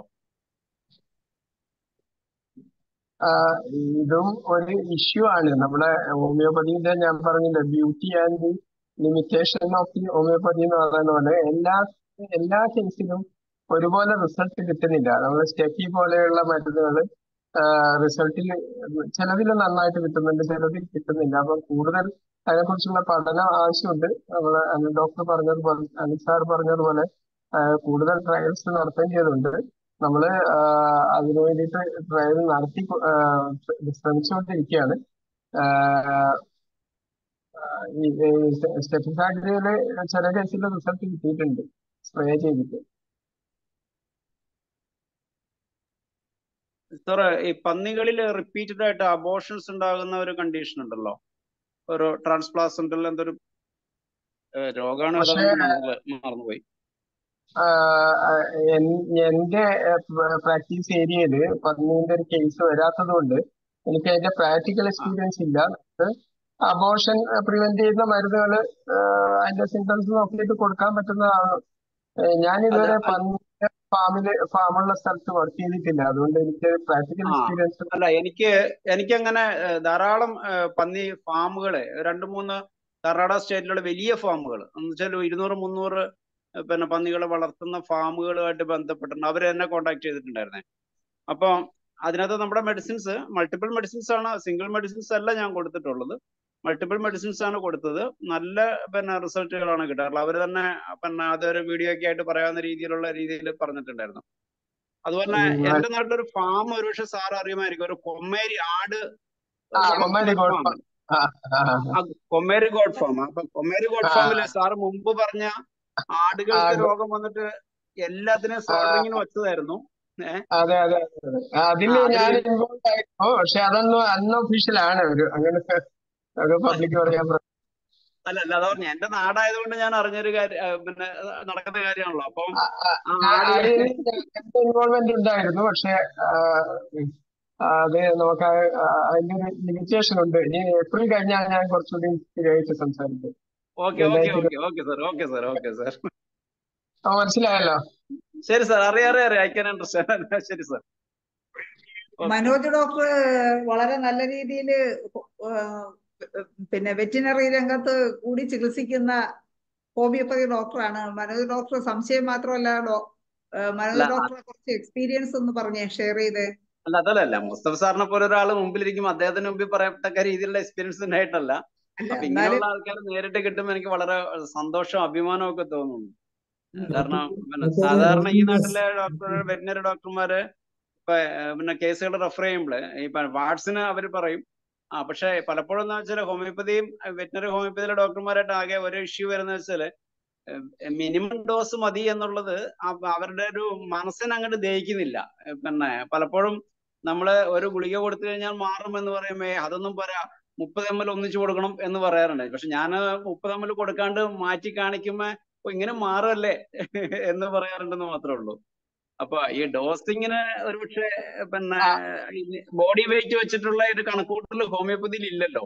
ആ ഒരു മൈൻഡ് പോവാത്തതിന്റെ വിഷയമാണത് നമുക്ക് ഈ ഒരു സിസ്റ്റത്തിനെ ഉൾക്കൊള്ളാത്തത് കൊണ്ട് വരുന്ന ഒരു വിഷയമാണ് അത് അതൊക്കെ പേഴ്സണലായിട്ട് വേണേ പറയാം. Okay okay sir okay sir okay sir. നമ്മൾ അപ്രിയമായ സത്യങ്ങൾ ഉറക്കെ പറയണ്ട. അല്ലല്ല ഇത് ഡോക്ടർ മനോജ് ഇതിന്റെ പ്രശ്നം എന്ന് വെച്ചാൽ ബേസിക് ട്രെയിനിങ് കിട്ടാത്തവരുടെ അവർക്കുള്ളതാണ്. എനിക്ക് തോന്നുന്നു ഈ പി ജി സി വെച്ച് കഴിഞ്ഞവര് അതൊക്കെ ഓവർകം ചെയ്തിട്ട് ബേസിക് ഹോമിയോ പ്രിൻസിപ്പിൾസ് വെച്ച് തന്നെയാണ് കൊടുക്കുന്നത്. അവിടെ ഈ ഡോസിന്റെ പ്രശ്നമൊക്കെ മാറിയിട്ടുണ്ട്. ബേസിക് കിട്ടാത്ത ഡോക്ടേഴ്സിന്റെ സൈഡിൽ നിന്നാണ് ഈ ഒരു പ്രശ്നം വരുന്നത്. അത് അവർക്ക് ഇത് ഹോമിയോയിൽ എന്തോ ഉണ്ട് എന്ന് അറിയുകയും ഹോമിയോന്റെ പ്രിൻസിപ്പൽ അറിയാതിരിക്കുകയും ചെയ്യുന്നവരാണ്. Belladonna two hundred ten M L T I D എന്നെല്ലാം പറഞ്ഞിട്ട് പ്രിസ്ക്രിപ്ഷൻ പോകുന്നത്. അങ്ങനത്തെ prescription thirty M L ten M L T I D എന്ന് പറഞ്ഞിട്ട് പ്രിസ്ക്രിപ്ഷൻ വന്നിട്ട് ഒരു ഹ്യൂമൻ ഹോമിയോപ്പതി ഡോക്ടറെ എന്നെ വിളിച്ചിട്ടുണ്ടായിരുന്നു. ഇതെന്താ ഡോക്ടറെ എന്ന്? ഞാൻ പറഞ്ഞു ഇതാണ് അൽപ്പം കൊണ്ടുണ്ടാകുന്ന പ്രശ്നം. അല്ല ഇപ്പൊ പേറ്റന്റ് പ്രൊഡക്റ്റുകൾ ചില കമ്പനികൾ ഇപ്പൊ ഞങ്ങൾ സാധാരണ മനുഷ്യന്മാരെ ചികിത്സിക്കുന്ന ഹോമിയോ ഡോക്ടർമാർക്ക് അറിയാത്ത ഒരുപക്ഷെ അങ്ങേക്ക് അറിയായിരിക്കും ധാരാളം പേറ്റന്റ് പ്രൊഡക്റ്റുകൾ ഉണ്ട് ഈ രോഗികൾ അല്ലെ ഈ പേഷ്യൻ ഈ കന്നാലിനെ വളർത്തുന്നവർ ഇത് മേടിച്ചു കൊണ്ടുവരുമ്പോഴാണ് നമ്മൾ അറിയുക പിന്നെ സർവരോഗ സംഹാരികൾ എന്നൊക്കെ പറഞ്ഞ രീതിയിൽ കുറെ മരുന്നുകൾ ഇത് ചൈന ട്വൽവെക്സ് എന്നൊക്കെ പറഞ്ഞിട്ടുള്ള സാധനങ്ങളാണ്. ഞങ്ങൾ അന്ന് ക്ലാസ് എടുത്ത ഒരു സാറ് പറഞ്ഞിട്ടുണ്ട്. ഇത് ഈ ഓഫ് ഇന്ത്യയിലെ ഏതോ ഒരു ലൈനിനെ കോട്ട് ചെയ്തിട്ടാണ് ഇവർ ഈ കോമ്പിനേഷൻ ഉണ്ടാക്കുന്നത്. ആ ലൈൻ അവിടെ നിന്ന് തെറ്റി മാറ്റിയിട്ടുണ്ടെങ്കിൽ സിംഗിൾ റെമഡി തന്നെ ഉപയോഗിക്കാൻ പറ്റുമെന്നുള്ളത്. അതൊക്കെ ഇതൊക്കെ ഇതിന്റെ വേറെ അപ്രിയ സത്യങ്ങളാണ്. മുസ്തഫ ഡോക്ടർ ഒരു കർഷകനാണെന്ന് തോന്നുന്നു രാംദാസ്. ആ രാംദാസ് രാംദാസ്. രാംദാസിനെ ക്ഷണിക്കുകയാണ്. എന്താണ് രാംദാസ് പറയാനുള്ളത്? രാംദാസ് സാറ് സംസാരിച്ചോളൂ. ഓക്കെ എല്ലാവർക്കും നമസ്കാരം. പിന്നെ മുസ്തഫ ഡോക്ടർ അവിടെ ഉണ്ടല്ലോ. പിന്നെ നല്ല എക്സ്പീരിയൻസ് ആണ്. സാറുടെ ട്രീറ്റ്മെന്റ് എനിക്ക് വളരെ സംതൃപ്തമായി. ഞാൻ ഈ ഫീൽഡിൽ പിടിച്ചു നിൽക്കാൻ കാരണം മുസ്തഫ ഡോക്ടറാണ്. അത് ഞാൻ മുമ്പും പറഞ്ഞിരുന്നു. കാരണം അത്രയും നഷ്ടം വന്ന് ഞാൻ പൂട്ടാൻ നോക്കുകയായിരുന്നു. ആ അവസരത്തിലാണ് ദൈവം എനിക്ക് മുസ്തഫ ഡോക്ടറെ കാണിച്ചു തന്നത്. എന്തായാലും വളരെ നല്ല എക്സ്പീരിയൻസ് ആണ്. ഏത് രോഗം പറഞ്ഞാലും മുസ്തഫ ഡോക്ടർ രണ്ട് ഡോസ് ഡോസ് ഇല്ല. അത് ഒരു രണ്ട് സ്പ്രേ അത്രയേ ഉള്ളൂ. വളരെ മിനിമം ഡോസേജിലാണ് അസുഖം മാറി വരുന്നത്. അത് ഇന്നലെ വരെ എക്സ്പീരിയൻസ്ഡ് ആണ് ഞാൻ. അതുകൊണ്ട് ഹോമിയോപ്പതി ഈ രംഗത്ത് എന്താ മുസ്തഫ ഡോക്ടർ പോലെ നൈപുണ്യമുള്ള ഒരാളെ കയ്യിൽ വളരെ സുരക്ഷിതവുമാണ്. ജനങ്ങൾക്ക് വളരെ ഉപകാരപ്രദവുമാണെന്ന ഒറ്റ വാക്ക് പറയാനുള്ളൂ. അതുകൊണ്ട് തന്നെയാണ് ഇന്നത്തെ ഫാമുകൾ നിലനിൽക്കാൻ വളരെ അത്യാവശ്യം. എന്താ അവൻ കർഷകൻ കടം വന്ന് ആത്മഹത്യ ചെയ്യാതെ നിപ്പിക്കുന്നത് മുസ്തഫ ഡോക്ടർ പോലെയുള്ള നല്ല ആത്മാർത്ഥമായ ഡോക്ടറുടെ പങ്കാണെന്ന് എനിക്ക് ഇതിൽ നിന്ന് പറയാനുള്ളൂ. ഓക്കെ? ഓക്കെ. രാംദാസ് സാറ്. പുസ്തക മുസ്തഫ ഡോക്ടറെ കുറിച്ച് പറയാനില്ലല്ലോ. മുസ്തഫ ഡോക്ടറുടെ നല്ലൊരു എന്താ പറയാ? ചികിത്സയുടെ നൈപുണ്യം കൊണ്ട് അവാർഡുകളും സ്റ്റേജ് തോറും സ്വീകരണവും കിട്ടിക്കൊണ്ട് അത് ഞാൻ എപ്പോഴും പറയാറുണ്ട് കിട്ടണം കിട്ടിയേ പറ്റൂ. കാരണം അതാണ് ദൈവത്തിന്റെ ഒരു കണ്ണ്. അങ്ങനെ ഉണ്ടാവണം. ശരിക്കും അതൊരു പാഷൻ ആയിട്ടാണ് സാർ എടുത്തിരിക്കുന്നത്. അല്ലാതെ അവിടെ വേറൊരു ബെനിഫിറ്റും സാർ ചിന്തിക്കുന്നില്ല. അതാണ് ഏറ്റവും ക്വാളിറ്റി ഒരു ഡോക്ടർ ക്വാളിറ്റി അതാണ്. അതുണ്ട് മുസ്തഫ ഡോക്ടറെ സംബന്ധിച്ചിടത്തോളം എന്ന് എനിക്ക് നൂറ് ശതമാനം മറ്റേർക്ക് ഇല്ല എന്നല്ലേ ഞാൻ പറയുന്നത് ആർക്കും ഇല്ലാതില്ല. പക്ഷെ ഞാൻ അറിയുന്ന പല മറ്റേ മെഡിസിൻ ഡോക്ടേഴ്സും പലരും എന്താണ് മണി മോട്ടീവ് മാത്രമാണെന്ന് ഞാൻ ഒറ്റ വാക്ക് പറയാം. കാരണം അതിന് പേര് ഇവിടെ ഞാൻ പറയുന്നില്ല. മുസ്തഫ ഡോക്ടർ പറഞ്ഞ പോലെ വേണമെങ്കിൽ പറയാനും എനിക്ക് താല്പര്യക്കുറവൊന്നുമില്ല. എന്നാലും ഞാനിപ്പോ പറയുന്നില്ല. കാരണം ഒരാളെ വ്യക്തിപരമായ ആരെയും നമ്മൾ വാക്കുകൊണ്ട് വേദനിപ്പിക്കണ്ട എന്ന് വിചാരിച്ചിട്ടാ. പക്ഷെ ഇതുപോലെ ഒരു സേവന തൽപരരായ ഒരാളെ ഈ എത്രയോ കാലഘട്ടത്തിനിടയിൽ ഞാൻ കണ്ടുമുട്ടിയത് മുസ്തഫ ഡോക്ടറെയാണ്. അത് ഹോമിയോപ്പതിയുടെ ഒരു നല്ലൊരു എന്താ പറയാ ബ്ലെസ്സിങ് ആണ് ഓക്കെ. കൂടുതൽ ഞാൻ ദീർഘിപ്പിക്കണ്ടല്ലോ? നിങ്ങളെ സമയപരിധി ഒന്നും എനിക്ക് അറിയില്ല അതുകൊണ്ട് എന്ത് എന്ത് കേസാണ് മുസ്തഫ ഡോക്ടർ ചികിത്സിച്ച് ഓ. ഭേദമാക്കിയതെന്ന് പറയാം ഫസ്റ്റ് നമ്മൾ ഇന്ന് ഏറ്റവും വെല്ലുവിളി നേരിടുന്ന ചർമ്മമുഴ എന്ന അസുഖം. ഒരു വലിയ പശു അറു അറുപത്തിയേഴ് എൺപത് രൂപയുടെ പശുവിനെ അപ്പൊ തന്നെ മുസ്തഫ ഡോക്ടർ അത് ശരിയാക്കി. അതിന്റെ തൊട്ട തലേ ദിവസം തൊണ്ണൂറായിരത്തിന്റെ ഒരു പശു മരിച്ചുപോയി. അപ്പൊ മുസ്തഫ ഡോക്ടർ അത് കിടന്നു കണ്ടപ്പോ പറഞ്ഞു എന്നോട് ഇനി അത് രക്ഷപ്പെടാൻ പ്രയാസമാണ് എന്നാലും നോക്കാന്ന് പറഞ്ഞു. പക്ഷെ ദൈവം സഹായിച്ചിട്ട് എന്തോ അത് പിറ്റേന്ന് തന്നെ കഴിഞ്ഞു. അതിനുശേഷം വന്ന വേറൊരു പശു. കുറച്ച് നല്ലൊരു നന്നായി ഒരു ഫാമിംഗ് നടത്തണം എന്ന് വിചാരിച്ച് നടക്കുന്ന ഒരുത്തനായിരുന്നു അതുകൊണ്ട് നല്ല പശുക്കളായിരുന്നു ഉണ്ടായിരുന്നത്. അപ്പോൾ ഒരു പശുവിനെ മുസ്തഫ ഡോക്ടർ പറഞ്ഞ പോലെ ഞാൻ എന്റെ റൂമിന്റെ പണിക്കാരെ ഏൽപ്പിക്കാതെ എന്റെ റൂമിന്റെ അടുത്ത് അതിനെ കെട്ടുകയും എന്നിട്ട് ഈ പരിചരണം കൃത്യമായി നൽകുകയും ചെയ്തു. ഡോക്ടർ പറഞ്ഞ സമയത്ത് പശു റിക്കവർ ചെയ്തിട്ടുണ്ട്. ചർമ്മരോഗം മൂർധിമത് ഭാവത്തിൽ വന്ന്. അതുപോലെ തന്നെ എന്റെ വൈഫിന്റെ ഒരു പെറ്റ് വൈഫിന് നാടൻ പശുക്കളുടെ ഒരു പെറ്റുകൾ ഗ്രൂപ്പ് ഉണ്ട് അപ്പൊ അവിടെ ഒരു ചെറിയ കുട്ടിക്ക് അവളെ എന്നാ അതിന് പറയാ എന്തോ ഒരു പേരുണ്ട് മാണിക്കനാറ്റം പറയുന്ന ഒരു പേരുണ്ട്. ആ കുട്ടി വല്ലാതെ ചൊറി വന്ന് ഈ ചർമ്മരോഗം വന്ന് പൊട്ടിയിട്ട് വഷളായി നിൽക്കുകയായിരുന്നു. മുസ്തഫ ഡോക്ടറുടെ രണ്ട് ഡോസ് മരുന്നുകൊണ്ട് തന്നെ അതിന്റെ ചൊറി കുറച്ച് കുറഞ്ഞു. ഇപ്പൊ ഇനി ചെറിയൊരു സംഭവം ഉണ്ട് അത് പ്രസവിച്ചു. അപ്പൊ ചെറിയൊരു സംഭവം ഉണ്ട്. അത് മുസ്തഫ ഡോക്ടർ ഇനി വന്നാൽ അത് മരുന്ന് വാങ്ങാന്ന് വിചാരിക്കുകയാണ്. കാരണം അതിന് അതന്ന് ഗർഭിണിയായിരുന്നുകൊണ്ട് മുസ്തഫ ഡോക്ടർ പറഞ്ഞു അത് കഴിയട്ടെ എന്ന് പറഞ്ഞു. അതുകൊണ്ട് നിൽക്കുകയായിരുന്നു. പിന്നെ എന്താ പറയണ്ടേ ഡോക്ടർ മാഡം ഒരു ഒരു വാക്കിൽ പറയാൻ പറ്റില്ല. പല അസുഖങ്ങളും ഉണ്ട്. വയറിളക്കായാലും പിന്നെ എന്ത് പനിയായാലും അകിട് വീക്കായാലും അങ്ങനെ സിക്നസ് എന്ത് വന്നാലും മുസ്തഫ ഡോക്ടറെ വിളിച്ചാൽ മരുന്നുണ്ട്. അത് ഏത് നേരവും വിളിക്കാന്നുള്ളതാണ് അതിന്റെ വേറൊരു സംഭവം. അതാണ് ഒരു പ്ലസ് പോയിന്റ് ഇവിടെ നൈറ്റിലുള്ള ഡോക്ടർമാർ നൈറ്റിൽ ഫോൺ ഓഫാക്കി നിൽക്കുന്നത് ഞാൻ കണ്ടിട്ടുണ്ട്. അത് എക്സ്പീരിയൻസ്ഡ് ആണ് ഞാൻ. പക്ഷെ മുസ്തഫ ഡോക്ടർ അതിന്റെ കാര്യം പറഞ്ഞപ്പോൾ ഞാൻ മനസ്സിലാക്കി. എന്നാലും പലരും അതൊക്കെ ചെയ്യുന്നുണ്ട്. ഇത് ഇതിന് എത്തിക്സിന് വിരുദ്ധമാണെന്ന് എനിക്ക് പറയാനുള്ളൂ. അതുപോലെ ഇത്തരം ഡിവോട്ടി ഒരു ഡോക്ടറെ ദൈവം തന്നത് തന്നെയാണെന്ന് എനിക്ക് പറയാം പ്രശംസിക്കുന്നതല്ല. എന്നാലും in my experience okay. Okay. Ramdas സാറേ വളരെ സന്തോഷം വരികയും രണ്ടു വാക്ക് ഇതുപോലെ എക്സ്പീരിയൻസ് ഷെയർ ചെയ്യുകയും ചെയ്തതിൽ വളരെ സന്തോഷം. അതെ. ഇതിൽ നിങ്ങളെ ഹോമിയോപ്പതിക്ക് ഞാൻ പറയുന്ന എത്ര ഇത് നന്ദി പറഞ്ഞാലും മതിയാവില്ല. അത്രയും നല്ല മെഡിസിൻ ആണ് എല്ലാ ഫീൽഡിലും ഹോമിയോപ്പതി ഇപ്പൊ വിജയിച്ചു വരുന്നുണ്ട്. അത് നിങ്ങളെ പോലെയുള്ള കുറെ ഡോക്ടർമാരുടെ നിര നിരന്തരമായ പരിശ്രമം കൊണ്ടായിരിക്കാം എന്ന് ഞാൻ വിചാരിക്കുന്നു. ഓക്കെ. ഓക്കെ. ഇനി കർഷകർ ആരെങ്കിലും ഉണ്ടോ? എന്തെങ്കിലും സംശയം ഇതുപോലെ ചോദിക്കാനോ എക്സ്പീരിയൻസ് ഷെയർ ചെയ്യാനോ ഇനി കർഷകരാരെങ്കിലും ഉണ്ടെങ്കിൽ ഒന്ന് ഹാൻഡ് റൈസ് ചെയ്യോ വീഡിയോ ഓൺ ചെയ്യുകയോ ചെയ്യണേ?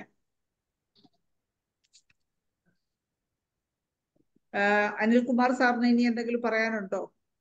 ഇല്ല ഇല്ല പ്രത്യേകിച്ച് മുസ്തഫയെ കുറിച്ച് കർഷകർ പറയുന്നത് കേൾക്കുമ്പം നിങ്ങൾക്കുള്ള പോലെ തന്നെ എനിക്ക് അതിയായ സന്തോഷമുണ്ട്. അത് ഹോമിയോപ്പതി എന്നുള്ള മാത്രമല്ല പുള്ളി നേരത്തെ തന്നെ വളരെ ഡെഡിക്കേറ്റഡ് ആണ്. അനിമൽ ഹസ്ബൻഡറി ഫീൽഡിൽ എല്ലാ ആക്ടിവിറ്റീസിലും പുള്ളി ആക്റ്റീവ് ആണ്. അതിന്റെ ഒരു ഭാഗം ആ പാഷൻ ഹോമിയോപ്പതിയിൽ വന്നപ്പോഴും തുടരുന്നു. അദ്ദേഹത്തിന്റെ ഞാനും അദ്ദേഹമായിട്ട് ശാരദാ മിഷൻ ഹോസ്പിറ്റലിലും ഹോമിയോ കോളേജിലൊക്കെ പോയി ക്ലാസ് എടുത്തു. എവിടെ ചെല്ലുമ്പോഴും ഒരുപാട് സ്റ്റുഡൻസ് അദ്ദേഹത്തിന്റെ സംശയങ്ങളും കാര്യങ്ങളും ചോദിക്കാനുണ്ട്. എനിക്ക് തോന്നുന്നു അവരൊക്കെ തന്നെ ആ സ്റ്റുഡൻസ് ഹോമിയോ സ്റ്റുഡൻസ് എന്ന പുള്ളിയുമായിട്ട് ഇപ്പോഴും ലിങ്കിലുണ്ട്. അതുകൊണ്ട് ഒരുപാട് പേർക്ക് ഈ ഫീൽഡിലോട്ട് വരാനുള്ള ഒരു പ്രചോദനമാണ്.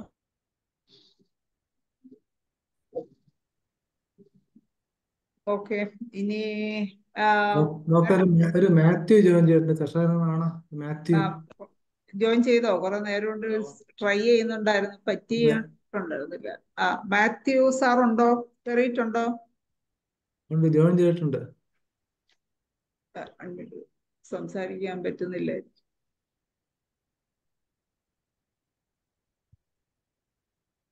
പുള്ളി ഒന്ന് കോഹോസ്റ്റ് ആക്കാൻ പറ്റുമോ മരുന്ന് ഡോക്ടറെ? ഞാൻ കണ്ടില്ലല്ലോ. ലിസ്റ്റിലുണ്ട്. പാർട്ടിസിപ്പന്റ് ലിസ്റ്റിലുണ്ട്. ഇപ്പൊ ജോയിൻ ചെയ്തേ ഉള്ളൂ. കോഹോസ്റ്റ് ആക്കിയിട്ടുണ്ട്. മാത്യു സാറുണ്ടോ? കയറിയിട്ടുണ്ട് മാത്യു സാറ്.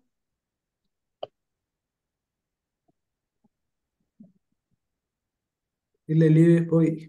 പോയോ? ആ അത് ജോയിൻ ചെയ്യാൻ പറ്റുന്നുണ്ടായിരുന്നില്ല. അതിങ്ങനെ റേഞ്ച് പോയി വന്ന്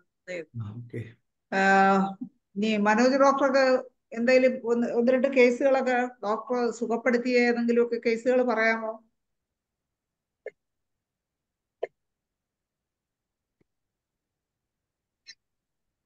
മനോജ് ഡോക്ടറെ അൺമ്യൂട്ട് ചെയ്തേ. T G Manoj doctor. ഉണ്ട്. ഡോക്ടർ ഉണ്ട് ഇതിനകത്ത്.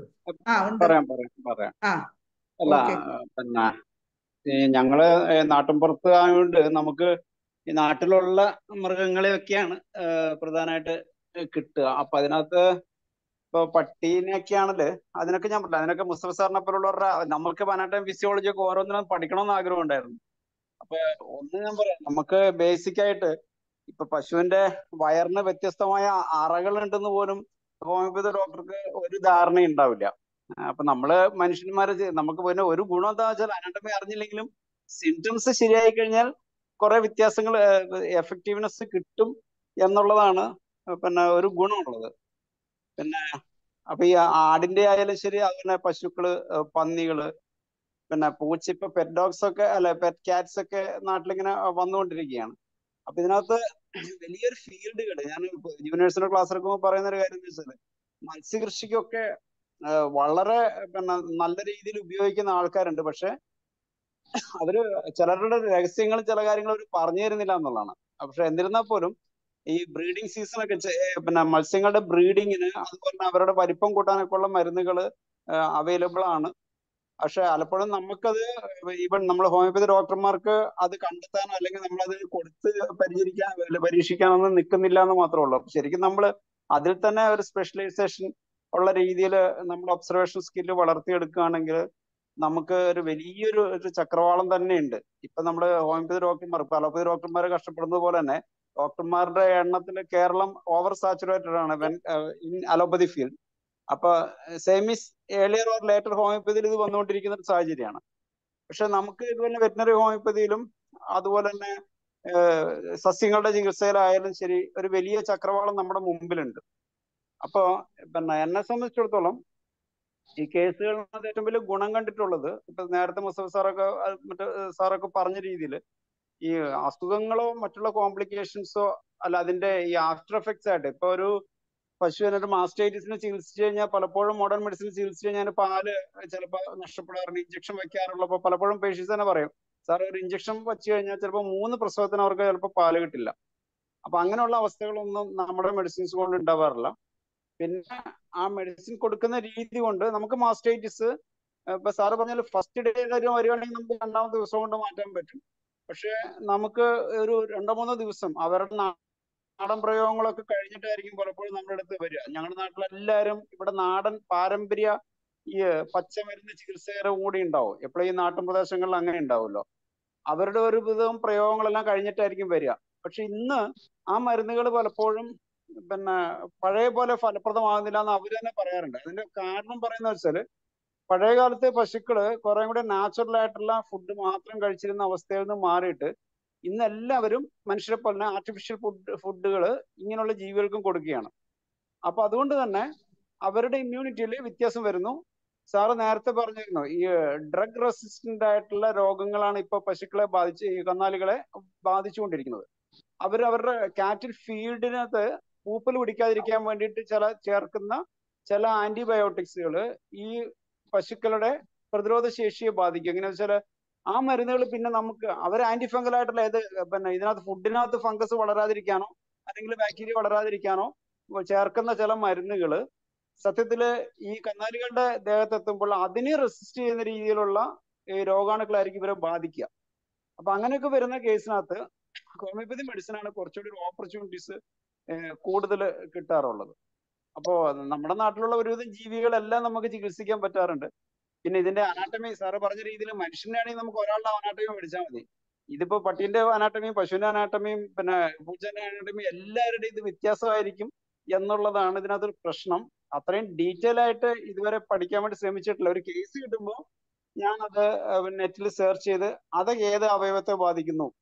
ഇപ്പൊ എനിക്ക് പട്ടിയുടെ ഇപ്പൊ ഡിസ്റ്റംബർ വരുമ്പോ എനിക്ക് ആ കേസ് വന്നതിന് ശേഷമാണ് അതിന്റെ സിംറ്റംസ് മുഴുവൻ കാണാതെ പഠിക്കുന്നത്.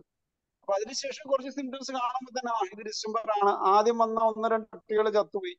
അതിനുശേഷം കിട്ടിയ പട്ടികളെല്ലാം എനിക്ക് രക്ഷപ്പെടുത്താനും പറ്റി. അപ്പൊ അത് നമ്മുടെ മെഡിസിൻസ് അതിനകത്ത് ട്വിച്ചിങ് ആണ്. മസിൽ ട്വിച്ചിങ്ങും പിന്നെ കൺവെർഷൻസ് പോലെ ഉണ്ടാവുക. അങ്ങനെയൊക്കെയുള്ള സിംറ്റംസിനാണ് പ്രാധാന്യം കൊടുത്തപ്പോഴാണ് എനിക്ക് സ്ട്രിച്ചിനൈൻ പോലുള്ള മെഡിസിൻസ് എക്സോമിക്ക് കൊടുത്തു കഴിഞ്ഞപ്പോഴാണ് എനിക്ക് അവയെ രക്ഷിക്കാൻ പറ്റിയത്. അപ്പൊ അതുപോലെ ഇനി ഇതിനോട് താല്പര്യമുള്ള ഡോക്ടർമാരോട് പറയാനുള്ളത് കേസുകൾ കിട്ടുമ്പോൾ അതിന്റെ എല്ലാത്തിനും അനാട്ടമി നമുക്ക് മുഴുവൻ പഠിക്കാൻ പറ്റില്ല അറ്റ്ലീസ്റ്റ് അത് എങ്ങനെ ബാധിക്കുന്നു? വാട്ട് ആർ ദ സിംറ്റംസ് അതിന്റെ കോസേഷൻസ് എന്ത്? മൈക്രോ ഓർഗാനിസംസ് എന്ത്?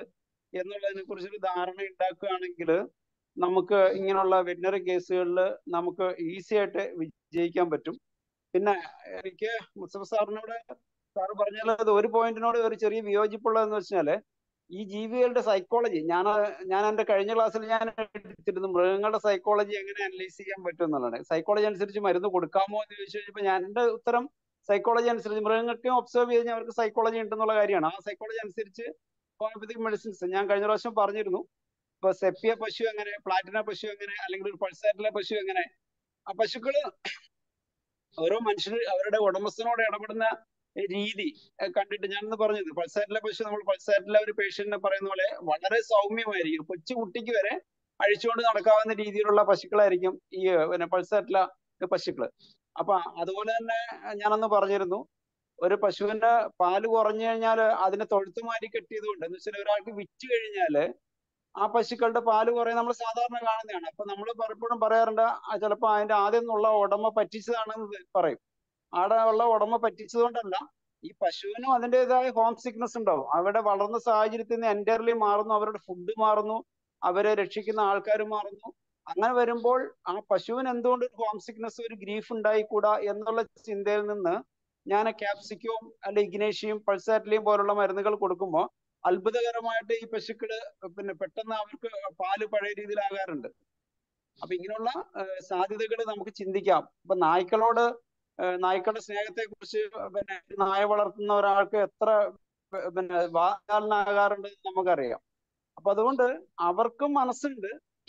ആ മനസ്സുള്ളത് കൊണ്ട് തന്നെ അങ്ങനെയുള്ള ജീവികളുടെ മനസ്സും കൂടി നമുക്ക് വേണമെങ്കിൽ കൺസിഡർ ചെയ്യാവുന്നതാണ്. ഒരുപക്ഷെ മുസ്തഫ സാറ് അങ്ങനെ ഒരു കാര്യം ഇനി ശ്രദ്ധിച്ചിട്ടില്ല എങ്കിൽ സാറിന് അതിലൊരു ഗവേഷണ സാധ്യതയുണ്ട് എന്ന് ഓർമ്മിപ്പിച്ചുകൊണ്ട് ഞാൻ തൽക്കാലത്തേന് നിർത്താം. താങ്ക് യു ഓക്കെ മനോജ് ഡോക്ടറെ ഇനി നമ്മളെ ഡോക്ടേഴ്സിന് എന്തെങ്കിലും സംശയം? ജോൺ പോൾ സാറ് ഉണ്ടായിരുന്നല്ലേ? James Paul sir. James Paul sir. James Paul sir ഉണ്ടായിരുന്നു. സാറിന് എന്തെങ്കിലും എന്താണ് വെറ്റിനറി രംഗത്ത് ചികിത്സ എക്സ്പീരിയൻസുകൾ എന്തെങ്കിലും പറയാനുണ്ടോ? James Paul sir?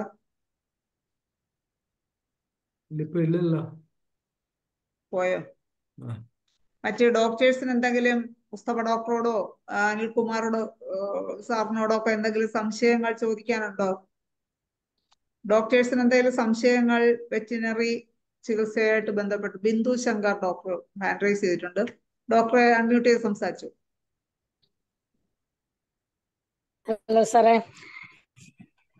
സാറേ എന്റെ വീടിന്റെ അടുത്തൊരു പട്ടിക്ക് പട്ടി ഭയങ്കരമായിട്ട് രാത്രി അഴിച്ചു വിട്ട് കഴിഞ്ഞാൽ സകല സാധനങ്ങളും നശിപ്പിക്കും. ഹലോ കേൾക്കാമോ? എല്ലാ സാധനങ്ങളും എല്ലാ അവർ പിറ്റേ ദിവസം രാവിലെ ഇത് കാണുമ്പോ നല്ല അടി കൊടുക്കും. പക്ഷെ വീണ്ടും പിറ്റേ ദിവസം രാത്രി ഇത് തന്നെ പരിപാടി.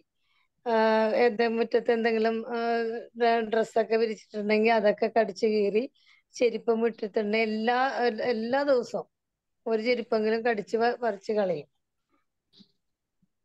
പക്ഷെ വീട്ടുകാര് അടിക്കാൻ ചെല്ലുമ്പോ വളരെ സോഫ്റ്റ് ആയിട്ട് ഇന്ന് അടിയുള്ളൂ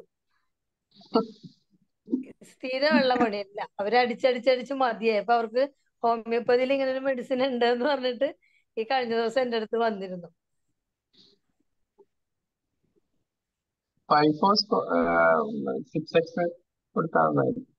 ഫൈവ് ഫോർസ് സാറേ. Five four six X. എനിക്ക് പെട്ടെന്ന് മൈൻഡ് ഡിസ്ട്രക്റ്റീവ് എന്നാണ് തോന്നി ആ, മുസ്തഫ സാറ് പറഞ്ഞതുപോലെ എന്തുകൊണ്ട് നിങ്ങൾക്ക് ഒരു ഡിസ്ട്രക്റ്റീവ്നെസ് അതിന്റെ ഒരു ആനിമലിന്റെ ഡിസ്ട്രക്റ്റീവ് മെന്റാലിറ്റി എന്നുള്ള രീതിയിൽ എന്തുകൊണ്ട് നിങ്ങൾക്ക് ചിന്തിച്ചുകൂടാ അതല്ലെങ്കിൽ ഇവന്റെ എന്തെങ്കിലും അല്ല മനസ്സിൽ ഒതുക്കി വെച്ചിട്ടുള്ള ദേഷ്യം നിങ്ങളോട് പ്രകടിപ്പിക്കുന്നതാണോ അങ്ങനെ ഒരു സാധ്യത ഉണ്ടോ എന്ന് നിങ്ങൾ ചിന്തിച്ചുകൂടാ അങ്ങനെ ഒരു സാധ്യത ഉണ്ടെങ്കിൽ ഒരുപക്ഷെ സാറ് പറയുന്ന ഫൈഫോസിന്റെ ഒപ്പം ചിലപ്പോ നിങ്ങളുടെ മനസ്സിൽ സ്റ്റാഫ് സാഗരി ഒക്കെ വരില്ലേ? അതെ അതെ അതെ. വരും. വരും മനോജ്. മനോജിന് എന്നെ മനസ്സിലായ? ഹലോ? കേൾക്കാം ഡോക്ടറെ. മനോജ് ഡോക്ടർ റേഞ്ച് പ്രശ്നം ഉണ്ടോ എന്ന് സംശയമുണ്ട്. അതാ കേൾക്കുന്നില്ലേ എന്തോ? ഇതിന്റെ കൂട്ട ഇതിന്റെ കൂട്ടത്തിലെ ഈ ഡോഗ്സിന്റെ ബിഹേവിയറിന് ചെറുപ്പത്തിലെ നല്ല ട്രെയിനിങ് നമുക്ക് അതിന് വലിയ ട്രെയിനേഴ്സ് ഒന്നും വേണ്ട. ബിഹേവിയറൽ ട്രെയിനിങ്സ് കൊടുത്താൽ ഒരുപാട് കാര്യങ്ങൾ മാറ്റിയെടുക്കാൻ പറ്റും. ഈ കറക്റ്റ് ശരിയായ രീതിയിലുള്ള കെയറിങ്ങും ട്രെയിനിങ്ങും കൊടുക്കാത്തത് കൊണ്ടാണ് പ്രത്യേകിച്ച് ഇതുപോലുള്ള പെറ്റലിമൽസ് ഇതേപോലത്തെ ബിഹേവിയർ കാണിക്കുന്നത്. ഒരു പക്ക ട്രെയിനിങ് കൊണ്ട് ഇതുപോലത്തെ പലതും കൺട്രോൾ ചെയ്യാൻ പറ്റും.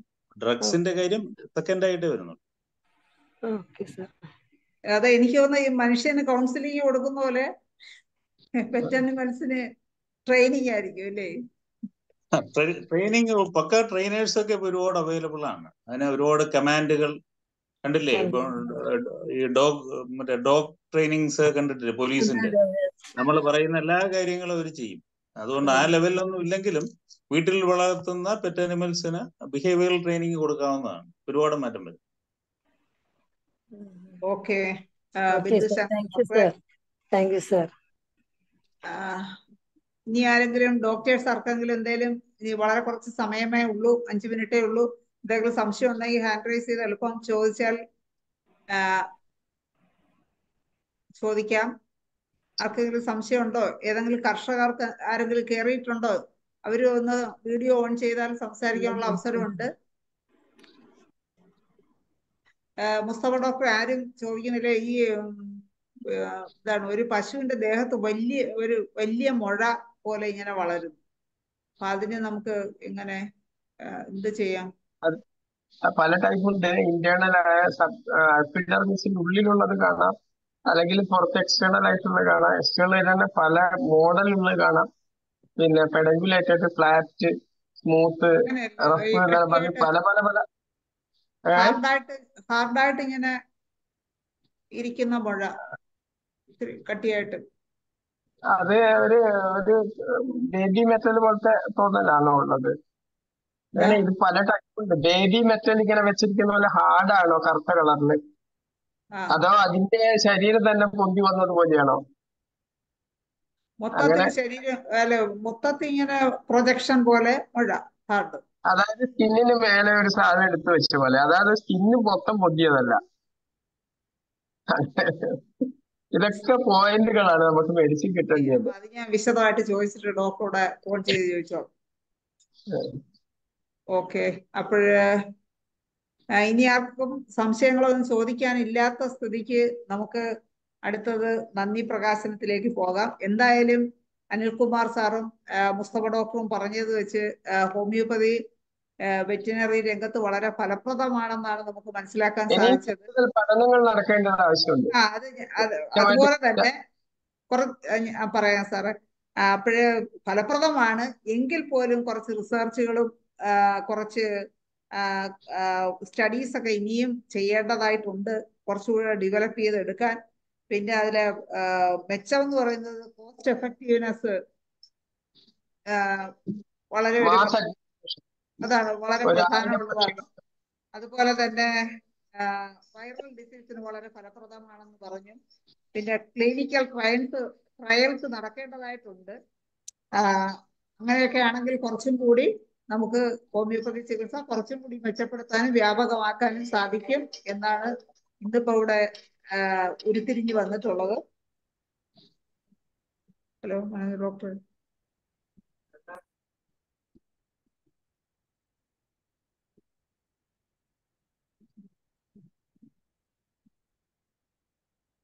ഇനി വന്നത് നമ്മുടെ ഗസ്റ്റുകൾക്ക് ഇനി എന്തെങ്കിലും ഫൈനലായിട്ട് എന്തെങ്കിലും പറയാനുണ്ടോ? ഇല്ല പ്രത്യേകിച്ച് ഒന്നുമില്ല ഒന്നും പ്രത്യേകിച്ച് ആ ആ, അങ്ങനെയാണെങ്കിൽ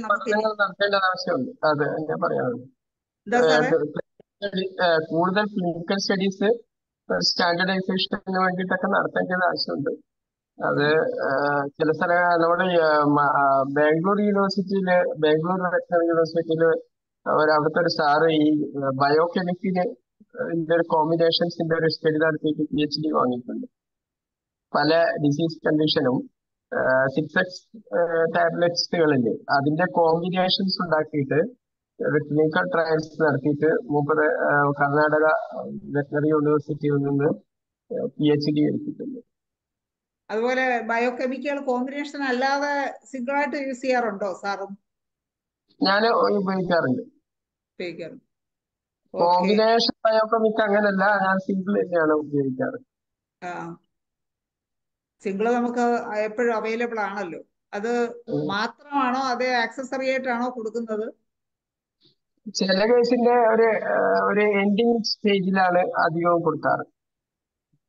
പൊട്ടൻസി ഹൈ പൊട്ടൻസി കൊടുത്തതിന് ശേഷം ലാസ്റ്റ് എന്നുള്ള നിലക്കാണ് കൊടുക്കാറ്. അത് മാത്രമായിട്ട് ഉപയോഗിക്കാറില്ല. വളം വളരെ അപൂർവമാണ് ഇതിന്റെ ഒരു ഇനിയും നമ്മൾ എക്സ്പ്ലോർ ചെയ്യേണ്ട പല പല സാധനങ്ങൾ ഇനി കിടക്കുന്നുണ്ട്. പൊട്ടൻസികൾ താഴോട്ടുള്ള ഇപ്പോഴും ഇപ്പോഴും പരീക്ഷണത്തിലാണ് ഓരോ നമ്മൾ ഇനിയും എക്സ്പീരിയൻസ് ഉണ്ട്. ഇപ്പം പരീക്ഷണം നടത്തിക്കൊണ്ടിരിക്കുന്നത് ബാച്ച് ഫ്ലവർ അടിയിലാണ് അതിനെ കൊണ്ട് വായിച്ചുകൊണ്ടിരിക്കുകയാണ് പരീക്ഷണങ്ങൾ അടുത്ത്. അടുത്ത ഒരു ഒരു രണ്ട് മൂന്ന് മാസം കഴിഞ്ഞാൽ അതിനെ കുറിച്ച് പറയും. കൂടുതൽ പറയാൻ ഏപ്രിൽ മുപ്പത് കഴിയും ഓക്കെ സാറേ. ഇനിയും രണ്ടുപേരെയും നമ്മളെ സൂമിലേക്ക് ഞങ്ങൾ ക്ഷണിക്കും. തീർച്ചയായിട്ടും വരുമെന്ന് പ്രതീക്ഷിക്കുന്നു. വന്നതിൽ വളരെ സന്തോഷം. എന്തായാലും ഇന്നത്തെ പ്രോഗ്രാമിന്റെ ഔദ്യോഗിക നന്ദി പ്രകാശനം നടത്തുന്നതിന് വേണ്ടി ഡോക്ടർ മറിയാമ്മ ജോണിനെ ക്ഷണിക്കുന്നു. Retired D M O homoeopathy department ആണ് മറിയാമ്മ ഡോക്ടർ മറിയാമ്മ ഡോക്ടറെ ക്ഷണിക്കും മറിയാമ്മ ഡോക്ടറെ നന്ദി പറയുന്നതിന് വേണ്ടി. ഡോക്ടർ എല്ലാവർക്കും നമസ്കാരം. ഐ എഫ് സി എച്ചിന്റെ ആയിരത്തി അഞ്ഞൂറാം ദിനാഘോഷത്തിന്റെ മൂന്നാം ദിവസത്തെ ഈ പരിപാടിയിൽ മൃഗസംരക്ഷണത്തിലും ചികിത്സയിലും ഹോമിയോപ്പതി ചികിത്സ ഫലപ്രദമോ എന്ന വിഷയത്തിൽ മുഖ്യ പ്രഭാഷണം നടത്തുകയും അതുപോലെ തന്നെ വൈറസ് രോഗങ്ങൾക്കും ബിഹേവിയറൽ പ്രോബ്ലംസിനും ബാക്ടീരിയൽ രോഗങ്ങൾക്കും എല്ലാം തന്നെ ഹോമിയോപ്പതി ഫലപ്രദമാണെന്നും നമുക്ക് മനസ്സിലാക്കി തന്ന ഐ എഫ് പി എച്ചിന്റെ സ്വന്തം ഡോക്ടർ കെ ടി മുസ്തഫ സാറിനെ ഹൃദയപൂർവം നന്ദി അറിയിക്കുന്നു. ഇന്നത്തെ ചർച്ചയിൽ പങ്കെടുത്ത മൃഗസംരക്ഷണ വകുപ്പ് retired deputy director doctor V A Anilkumar sir homoeopathy ചികിത്സയുടെ പ്രയോജനങ്ങളെക്കുറിച്ചും മൃഗചികിത്സയിൽ വരുന്ന ബുദ്ധിമുട്ടുകളെക്കുറിച്ചും ക്ലിനിക്കൽ ട്രയൽസുകളെ കുറിച്ചും ഓർഗാനിക് ഫാമിനെ കുറിച്ചും എല്ലാം ഫാമിങ്ങിനെ കുറിച്ചും എല്ലാം നമുക്ക് വിശദമാക്കി തന്നു. ഡോക്ടറും പ്രത്യേകം പിന്നെ ഐ എഫ് എച്ചിന്റെ പേരിൽ വിനയപൂർവം നന്ദി അറിയിച്ചു കൊള്ളട്ടെ doctor T G Manoj Kumar നമുക്കെല്ലാം ഇപ്പൊ പ്രിയങ്കരനായ ഡോക്ടർ ഹോമിയോപ്പതി വകുപ്പിലെ മെഡിക്കൽ ഓഫീസറാണ്. അതോടൊപ്പം തന്നെ ഒരു സൈക്കോളജിസ്റ്റ് സൈക്കോളജിസ്റ്റ് കൂടിയായ ഡോക്ടർ മൃഗങ്ങളുടെ സൈക്കോളജിയെ കുറിച്ച് വളരെ വിശദമായി നമ്മളോട് സംസാരിച്ചു. ഡോക്ടർക്ക് പ്രത്യേകം സ്നേഹപൂർവം നന്ദി അറിയിക്കുകയാണ്. അതുപോലെ നമുക്ക് മെസ്സേജിലൂടെ ആശംസ ആശംസ അറിയിച്ച doctor K P G Nair സാറിനും പ്രത്യേകം നന്ദി അറിയിക്കുന്നു.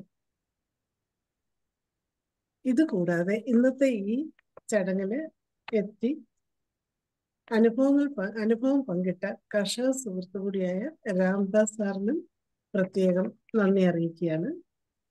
ഇന്ന് നമ്മുടെ ഈ ചടങ്ങിന്റെ സ്വാഗതം ആശംസിച്ച chief medical officer G S Manoj ഡോക്ടർക്കും സ്നേഹപൂർവം നന്ദി അറിയിക്കുന്നു. നമുക്ക് ഈ നമ്മൾ ഈ ചടങ്ങ് ആരംഭിക്കുന്നതിന് വേണ്ടി ഈശ്വരഗാനം ആലപിച്ച് കുമാരി അരുണിമയെ ഐ എഫ് പി എച്ചിന്റെ സ്നേഹം അറിയിക്കട്ടെ. ഇന്നത്തെ പരിപാടിയുടെ moderator retired C M O doctor P Shaila ഡോക്ടർക്ക് പ്രത്യേകം നന്ദി അറിയിക്കുകയാണ്. അതുപോലെ നമുക്ക് ഈ ഇത്ര ആയിരത്തി നാനൂറ്റി തൊണ്ണൂറ്റി ആറ് ദിവസങ്ങളായി ഇടപെട തടവില്ലാതെ നടത്തി വരുന്ന ഐ എഫ് പി എച്ചിന്റെ പ്രതിദിന സൂം വെബിനാറിന്റെ അണിയറയിൽ പ്രവർത്തിക്കുന്ന അനേകം ഡോക്ടർമാരുണ്ട്. പ്രത്യേകിച്ചും Dhanesh doctor Huber doctor Anilkumar doctor Anil Jini doctor അങ്ങനെ അതുപോലെ ഐ എഫ് പി എച്ചിന്റെ ഭാരവാഹികൾ എല്ലാവരെയും ഈ സമയം നന്ദിയോടെ ഓർക്കുന്നു. ആയിരത്തി അഞ്ഞൂറ് ദിവസങ്ങൾക്ക് മുമ്പ് കോവിഡ് കാലഘട്ടത്തിൽ ഇങ്ങനെ ഒരു ഒരു കൂട്ടായ്മ ആരംഭിക്കാൻ ഇടയാക്കിയ ഹോമിയോപ്പതി സ്നേഹികളെയും പ്രത്യേകിച്ച് ഫൈസൽ ഫിറോസ് അലാവുദ്ദീൻ സാർ എന്നിങ്ങനെയുള്ള എല്ലാ ഹോമിയോപ്പതി സ്നേഹികളെയും മറക്കാൻ സാധിക്കില്ല ഓരോരുത്തർക്കും നന്ദി അറിയിക്കുകയാണ്. ഐ എഫ് എച്ച് നടത്തി വരുന്ന ഏഴ് മുപ്പത് മുതലുള്ള ഹിന്ദി ക്ലാസ് ഹിന്ദി ക്ലാസ്സിൽ എട്ട് മുപ്പത് മുതലുള്ള ഇംഗ്ലീഷ് ക്ലാസ്സിൽ ഒൻപത് മുപ്പതിലുള്ള മലയാളത്തിൽ മലയാളം ക്ലാസ്സിലും പ്രതിദിന നടത്തുന്ന എല്ലാ പ്രതിദിന സൂം വെബിനാറിലും പങ്കെടുക്കുന്ന ഓരോരുത്തരുമാണ് ഈ സംഭവത്തെ വിജയിപ്പിച്ചുകൊണ്ടിരിക്കുന്നത്. ഇതിൽ പങ്കെടുക്കുന്ന എല്ലാ ഡോക്ടർമാർക്കും ഹോമിയോപ്പതി സ്നേഹികൾക്കും വിദ്യാർത്ഥികൾക്കും സന്തോഷപൂർവം നന്ദി അറിയിക്കുന്നു. എല്ലാറ്റിലും ഉപരിയായി ഇന്നത്തെ ഈ നമ്മുടെ ചർച്ച ഇത്രയും ഭംഗിയായി ഭംഗിയായി നടത്താൻ സഹായിച്ച ഈശ്വരന് നന്ദി അർപ്പിച്ചുകൊണ്ട് നിർത്തട്ടെ. നന്ദി നമസ്കാരം. മറിയാമ്മ ഡോക്ടർക്ക് പ്രത്യേകം ഒരു നന്ദി അറിയിക്കുന്നു. അതുപോലെ തന്നെ എന്തായാലും ആയിരത്തി നാനൂറ്റി തൊണ്ണൂറ്റി ആറാം ദിവസം വളരെ മനോഹരമാക്കിയ നമ്മുടെ ഫാക്കൽറ്റീസിന് ഒരിക്കൽ കൂടി നന്ദി പറഞ്ഞുകൊണ്ടും എല്ലാവർക്കും ശുഭ നന്ദിയും ശുഭരാത്രിയും നേർന്നുകൊണ്ട് ഇന്നത്തെ മലയാള സെഷൻ പ്രോഗ്രാം ഇവിടെ വൈൻഡപ്പ് ചെയ്യാണ്. എല്ലാവർക്കും good night. Good night. Good night.